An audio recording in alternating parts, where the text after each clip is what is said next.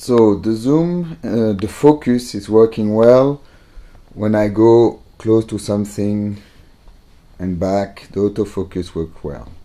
But then if I try to zoom, it goes totally blurry and then it cannot find the focus. It cannot, it cannot, it tries, it tries and after a while it goes back to the initial place and then it's out of focus and stay out of focus. It doesn't want to make the focus again.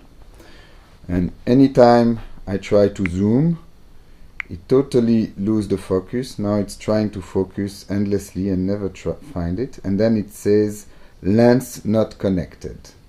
Lens not connected. And then I try to zoom again to show you. It doesn't make the focus. It tries, but it doesn't. And when after a while it goes back and is still out of focus.